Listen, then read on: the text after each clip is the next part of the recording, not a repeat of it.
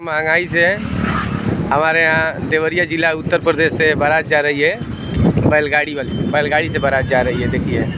बैलगाड़ी से बारात जा रही है। ये जा रही है देवरिया से पकड़ी बाज़ार।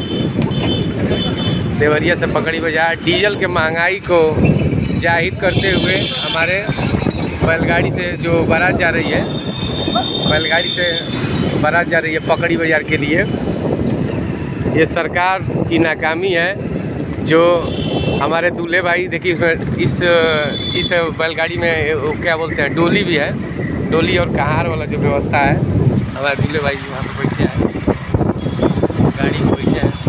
और ये ये ज़ाहिर कर रहे हैं। ये ये ज़ाहिर कर रहे हैं कि मतलब बारात डीजल के महँगाई की वजह से ये हमारे भैया क्या आप डीजल के महँगाई की वजह से बारात आप बैलगाड़ी से निकाले हैं? हम देखिए दूल्हे भाई से बात कर रहे हैं। दूल्हे भाई से बात कर रहे हैं। भैया अरे भाई, महँगाई की वजह से आप आप डीजल के महँगाई की वजह से इस बैलगाड़ी में बारात निकाले हैं क्या? ये सरकार की नाकामी है। हाँ? ये सरकार की नाकामी है जो हमारे दूल्हे भाई देखिए ये सोबलिया लोग बैठे हैं इसमें बच्चे बैठे हैं डोली भी है। ये डीजल के महँगाई की वजह से जो बारात निकाले हैं हमारे दूल्हे भाई, ये जा रही है पकड़ी बाज़ार बारात। हमारे देवरिया जिला उत्तर प्रदेश से बारात निकल रही है।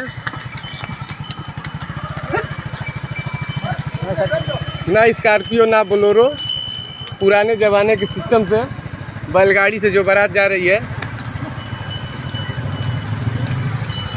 बारात कई बजे तक पहुँच जाएगी पकड़ी बाज़ार? पाँच बजे तक पहुँच जाएगी। इस समय एक बज रहा है। देखिए बारात जा रही है पकड़ी बाज़ार के लिए। हमारे देवरिया जिला उत्तर प्रदेश के से जा रही है। और ये डीजल के महँगाई को मद्देनज़र रखते हुए हमारे दूल्हे भाई ने बारात ये बैलगाड़ी पे निकाली है। ये बैलगाड़ी की बारात है और बैलगाड़ी से लोग जा रहे हैं बारात लेकर के।